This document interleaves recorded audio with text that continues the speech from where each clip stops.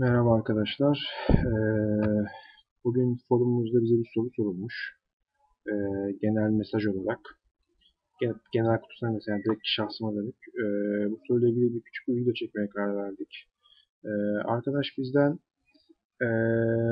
bir şey istiyor Cuma arkadaşımız. İstediği şey aslında şu. Arkadaşımız mikro programı kullanıyor. ve bu kullandığı programın bize sonuç olarak döndürdüğü bazı değerler var. Yani aslında bu çeklerin geliş vadesinin göre program bizi uyarsın istiyor. Şimdi e, bunu çözmenin iki tip yolu var. Bir, hangi çeklerin bugün geldiğini bilmemiz gerekiyor. Ve daha sonra bunu arayüzden bize uyarı göndermesi gerekiyor. Veya aslında kullanıcı bugün vadesi gelen çekler diye bir sorgu yazdığında e, bunu direkt çekebiliyor olması gerekiyor. Ama e, veri tabanının boyutunun büyüklüğünü varsayarsak bu bazen her zaman böyle kolay olmayabiliyor. O yüzden şöyle bir yol yapmak istiyorum sizinle. Bu arada olduğum yerde biraz ses var. Kusura bakmayın.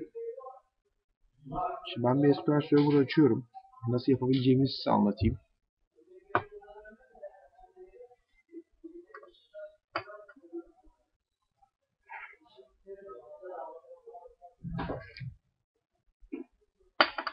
Geliyorum.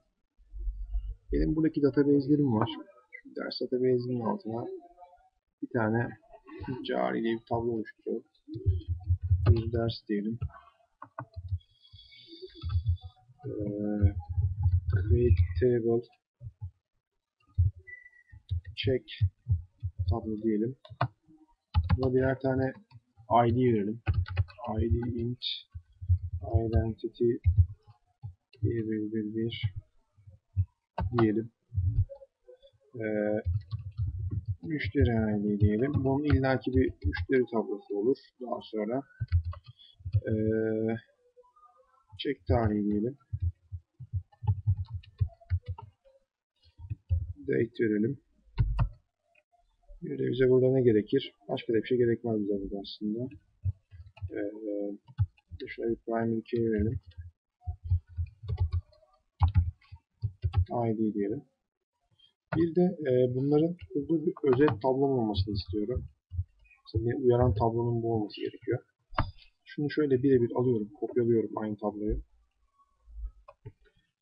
C diyorum.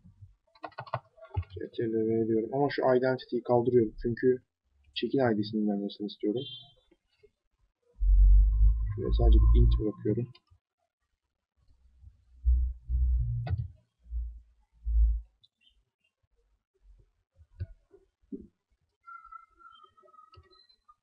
Ve tablonun isminde check özet diyorum.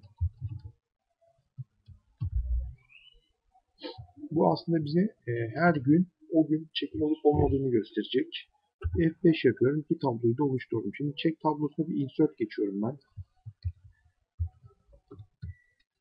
Insert into check tablo diyorum. Gireceğim kolonlar burada müşteri ID,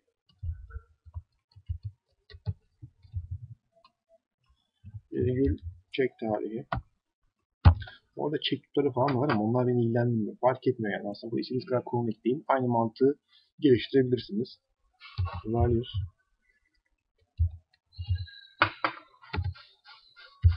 geldim. Müşteri ID 1 diyorum.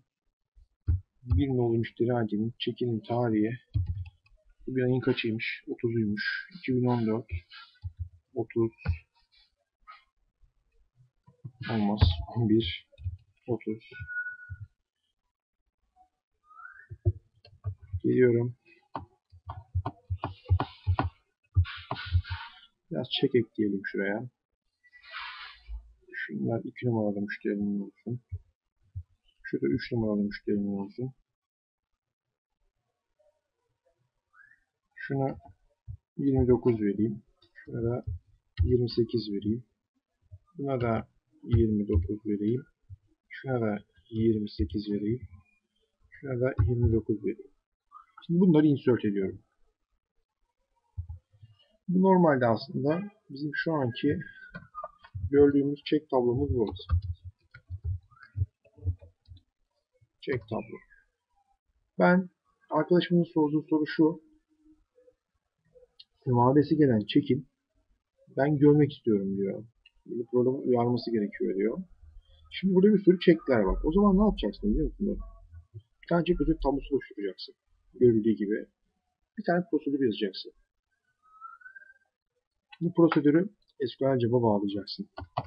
Şuraya gelelim. Beraber yapalım sen ne istiyorsan şimdi. Diyoruz ki create prosedür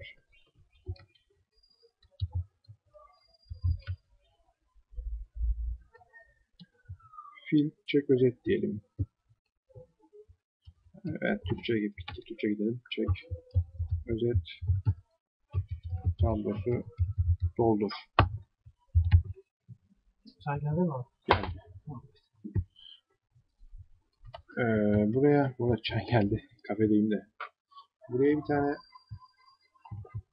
parametre koyuyorum. Ee, parametrenin ismi check tarihliyorsun.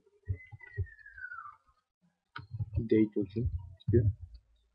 Null'ın ismi null'sı hepsi gelsin. Begin diyorum. End diyorum. Aslında yaptığım iş çok kolay. Başlarken mutlaka check tablosunu truncate ediyorum. Truncate table. Çünkü bugün gelenleri göreceğim için tablo özet şu an hata veriyor farkındaysanız. IntelliSense de gelmedi. Çünkü şuraya ez yazmadığım için. Şimdi her şey normal çalışır. Ee, tamam özet tablosunu truncate ettim. Şimdi geliyorum. Diyorum ki insert into check tablo özet select id virgül müşteri id virgül check tarihi check tarihi from check tablo ver check tarihi eşittir et check tarihi. Tamam mı? Bu aslında sorgu bize her gün o günkü çekleri getirecek. Şunu bir create ediyorum. F5. Şimdi prosedürümüzü çalıştıralım. Exec